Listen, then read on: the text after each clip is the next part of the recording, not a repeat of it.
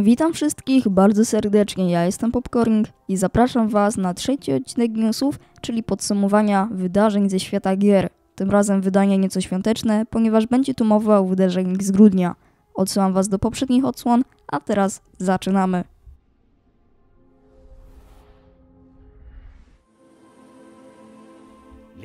The Lost Legends of Fredwall The Scout Anthology to epizodyczna gra przygodowa pełna bogatych postaci, a co najważniejsze, pierwsza nowa oficjalna historia Redwall od 2011 roku.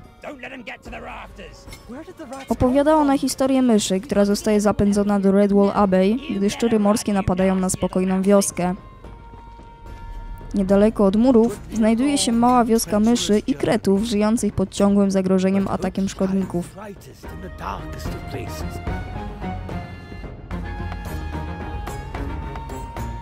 Nasz bohater, wybrany do gry jako Liam lub Sofia, jest najnowszym członkiem korpusu harcerskiego grupy leśnych strażników, którym zadaniem jest ochrona małej wioski.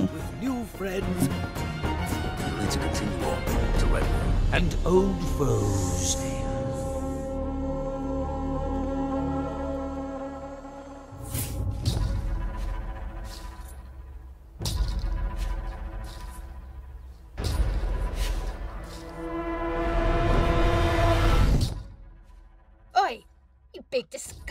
Gobslobber! Come and get me! It will take all their strength, trust, and bravery.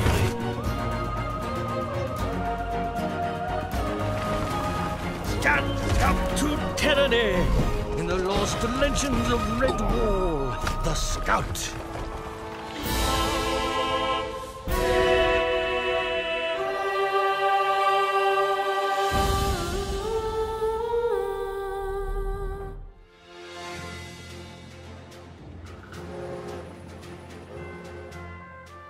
Steam World Build zabiera nas do świata znanego z poprzednich odsłon serii, przy czym historia ukazana w grze rozgrywa się na długo przed wydarzeniami znanymi ze Steam World. Głównymi bohaterami jest para robotów parowych, ojciec i jego mała córka, którzy przybywają do opuszczonej lokacji, by odnaleźć starożytne artefakty. Nie jest to dla nich kwestia hobby lub zarobku. Po wydarzeniach ze SteamWorld Dig 2 cała planeta wkrótce eksploduje, a bez zapomnianej technologii mieszkańcy nie zdołają uciec w kosmos. There once was a dream world in which familiar friends, from the most heroic Disney Dreamlight Valley zabiera nas w podróż do fantastycznego uniwersum Disneya i Pixara, a dokładnie do tytułowej doliny, która niegdyś tętniła życiem, stanowiąc dom dla postaci z kultowych kreskówek. Sielanka zakończyła się w momencie, gdy krainę nawiedził kataklizm zwany zapomnieniem, przez który zaczęły w niej rosnąć nocne ciernie, zabierające wspomnienia jej mieszkańcom. Tym ostatnim nie pozostało nic innego, jak zamknąć się w zamku snów i czekać na ratunek. This is a place where you'll have no worries, where you'll wish time. Na szczęście nie wszystko jeszcze jest stracone, gdyż w dolinie pojawiamy się my. Teraz na naszych barkach spoczywa zadanie uratowania jej mieszkańców oraz przywrócenia w tym miejscu dawnego ładu i porządku.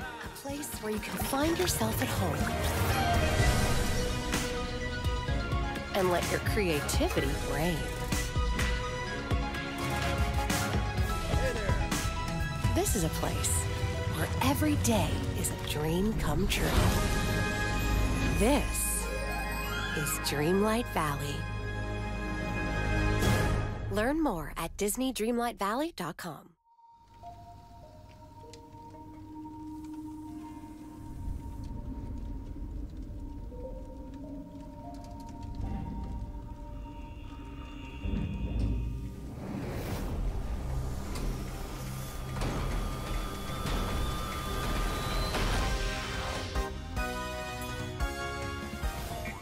Born of Bread zabiera nas w podróż do fantastycznego świata, który zamieszkują zwierzęta. Głównym bohaterem opowiedzianej tu historii jest Loaf, czyli golem wykonany z mąki. Protagonista przemierza krainę w towarzystwie swoich zwierzęcych przyjaciół i stara się pokonać złowrogie istoty z przeszłości, które przybyły tu, by siać spustoszenie.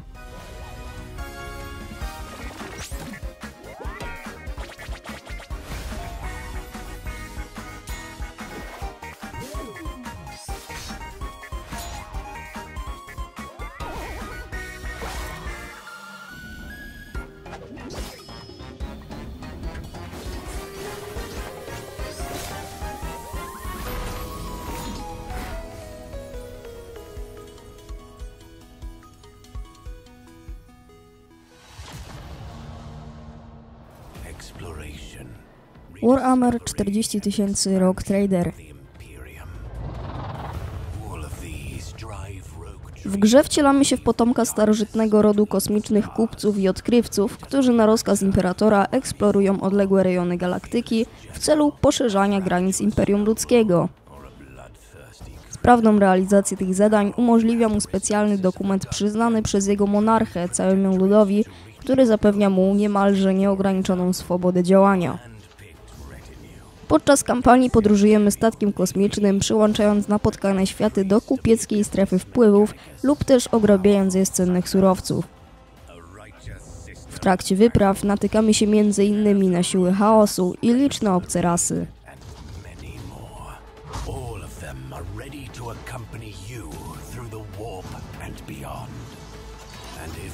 Resources of the Imperium prove insufficient, take a more radical approach and strike an allegiance with a terrifying enemy of humanity, the wicked Drukari.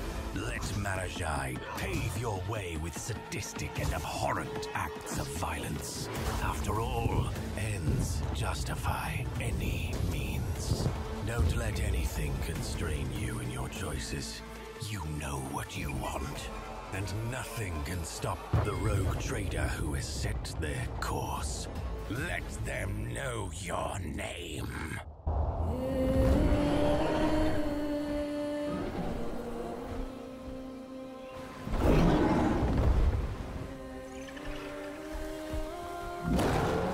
Akcja gry Avatar Frontiers of Pandora toczy się w XXI stuleciu na księżycu Pandora, okrążającym jeden z gazowych gigantów w układzie Alpha Centauri. Pandora dysponująca bogatym ekosystemem oraz zasiedlona przez rasę inteligentnych istot określanych mianem Navy jest celem ziemskich korporacji pragnących za wszelką cenę je pozyskać. me. I was trained in their ways, their technology, their weapons. Things that a Navi should not know. Wśród nich prym wiedzie ZPZ, czyli Zarząd Pozyskania Zasobów. Trakcie rozgrywki wcielamy się w jednego z przedstawicieli lub przedstawicielek rasy Navy, który w dzieciństwie został uprowadzony przez ZPZ, a następnie wyszkolony, by jej służyć. Kiedy remained 15 lat później nasza postać zdoła wybudzić się ze snu i odzyskać wolność, jej własny lud nie przyjął jej z otwartymi ramionami. Od tej pory musi ona zrobić wszystko, by zdobyć zaufanie swojego rodu, reprezentującego rozmaite klany, odzyskać więź z Pandorą i dziedzictwem swoich przodków, a także stawić czoła najeźdźcom z kosmosu.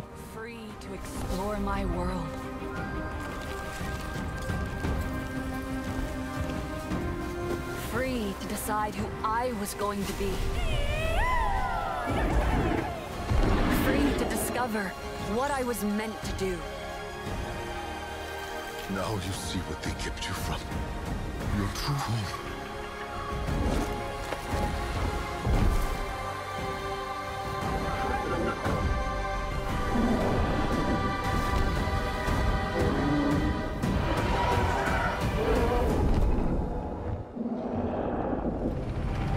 Now Pandora is under attack again.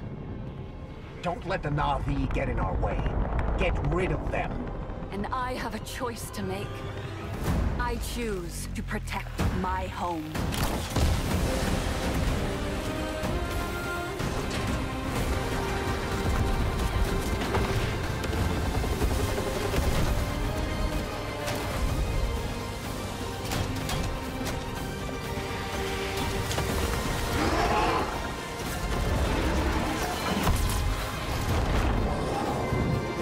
Was a child of two worlds.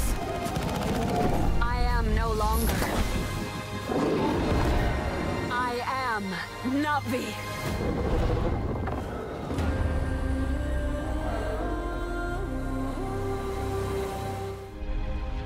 Bieżący rok obfitował w wiele kapitalnych premier. Na rynku pojawiło się mnóstwo wspaniałych gier na konsole oraz PC. Można powiedzieć, że dawno nie mieliśmy tak udanego okresu w branży gier. Ostatnio jednak rozpoczął się grudzień, a to wiąże się z masą wydarzeń związanych z podsumowaniami oraz wyborami gry roku 2023. Największym faworytem do tego miana jest bezsprzecznie Baldur's Gate 3, Czy produkcja, która zdominowała galę Golden Joystick Awards 2023 równie dobrze poradzi sobie w tym plebiscycie? O tym przekonamy się już 7 grudnia. Wszyscy zainteresowani gracze mogą jednak dołożyć swoją cegiełkę do całego wydarzenia i realnie wpłynąć na rozdanie growych Oscarów.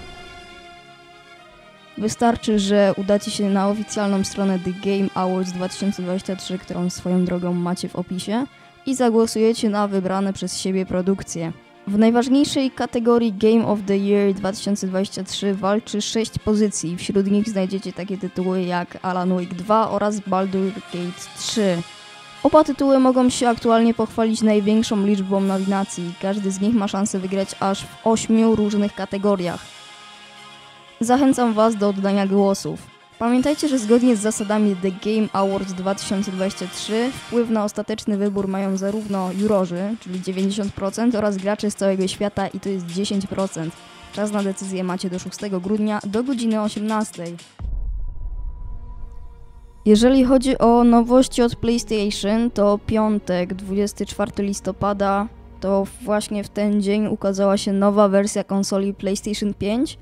Tutaj myślę, że nie będę rozszerzać bardziej tego tematu, bo szykuję dla Was oddzielny materiał, gdzie dokładnie obejrzymy sobie tą konsolę, porównamy ją ze starszym modelem, no i ukażemy korzyści oraz wady. To już wszystko, jeżeli chodzi o grudniowe newsy. Możecie podzielić się swoimi spostrzeżeniami na temat gry roku 2023. No i co, dajcie łapkę w górę, jeżeli taki format Wam się spodobał. Do zobaczenia w styczniu. Cześć!